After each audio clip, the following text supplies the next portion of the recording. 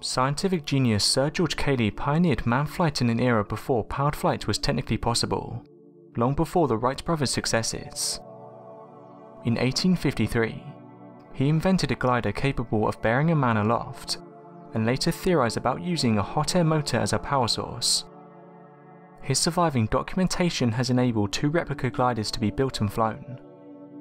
Fast forward and the R-71 Blackbird is still the fastest plane that has ever flown.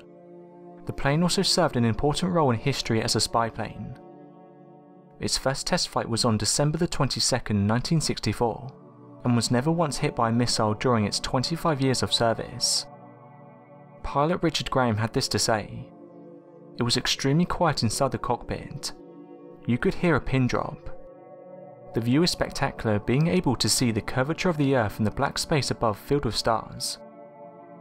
Because this aircraft was way ahead of its time, many new technologies had to be invented specifically for this project, some still in use today. One of the biggest problems engineers faced at the time was working with titanium.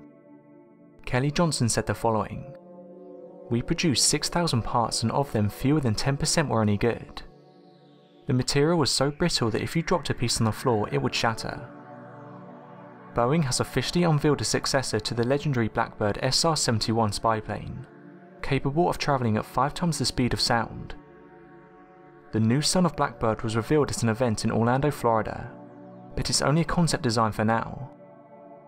The new aircraft will be a direct competitor to Lockheed Martin's upcoming SR-72. These rival firms are racing to create a hypersonic aircraft that's capable of stealthy recon assignments, and strike missions too. Speaking to Aviation Week Aerospace Daily, Boeing's hypersonics chief described how Boeing was planning a two-step development process for the new warplane. The first stage would involve flight tests of an F-16 sized single-engine precursor vehicle that acts as a proof of concept.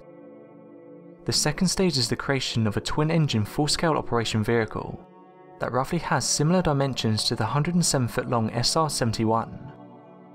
Boeing's end goal is an aircraft that can travel at 5 times the speed of sound, the son of Blackbird speed would be around 3,836 miles per hour.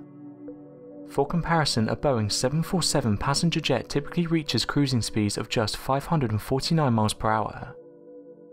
The tricky part is that the SR-71 replacement needs to be able to take off, accelerate, slow down and land on its own, just like the original 1964 model. Boeing is looking at using a conventional turbojet to hit Mach 3, then switching to a different configuration to boost beyond Mach 5.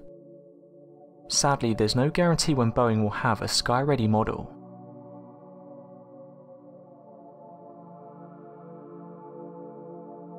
Thanks for watching and don't forget to subscribe for more videos.